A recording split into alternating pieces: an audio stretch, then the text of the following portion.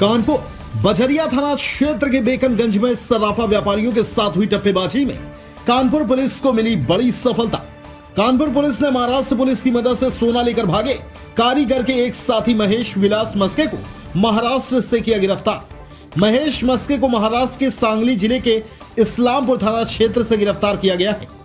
कारीगर के साथी के पास से भारी मात्रा में सोना, चांदी, कैश, वाहन, सामान हुआ बरामद। मुख्य आरोपी संपत लवेटे की तलाश में जुटी कानपुर पुलिस। महाराष्ट्र पुलिस के साथ दे रही दबिश। पाँच दिसंबर को बजरिया थाना क्षेत्र के बेकनगंज से एक कारीगर सराफा व्यापारियों का लगभग 12 किलो सोना, एक करोड़ कैश और चांदी लेकर हुआ था फरार। आरटीआई न्यूज़ 24 के लिए तौसीफ अहमद की रिपोर्ट।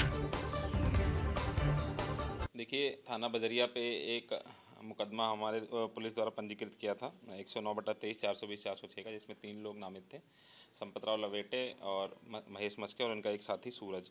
इन तीनों की गिरफ्तारी के लिए एक एसआईटी भी बनाई गई थी पूरी विवेचना को करने के लिए और हमारी एक विस्तृत टीम जो इनके गृह जनपद जो महाराष्ट्र में सांगली में वहाँ पे काफ़ी दिनों से लगातार कोशिश कर रही थी इनको पकड़ने के लिए। इसमें आज हमें सफलता प्राप्त हुई है। जो महेश मस्के, जो संपत राव लवेटे का मुख्य साथी था, उसको पकड़ा है। इसके पास से काफ़ी मात्रा में ज्वेलरी की रिकवरी भी हुई है मशीन भी रिकवर की गई है।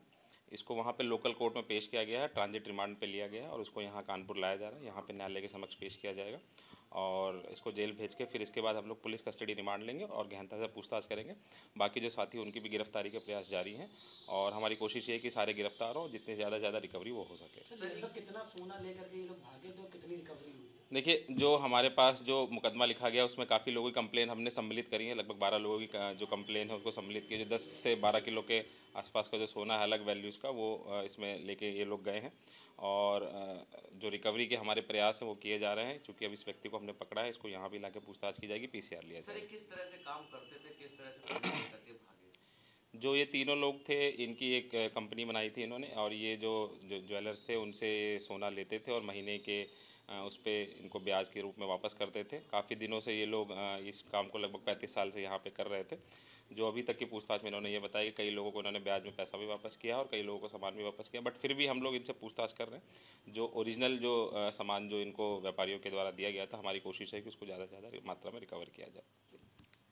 देश प्रदेश की हर छोटी बड़ी खबर के लिए सब्सक्राइब करें हमारा channel R T I news twenty और बेल आइकन दबाना ना भूलें। जिससे हर खबर आप तक पहुँचा सके हम। सबसे पहले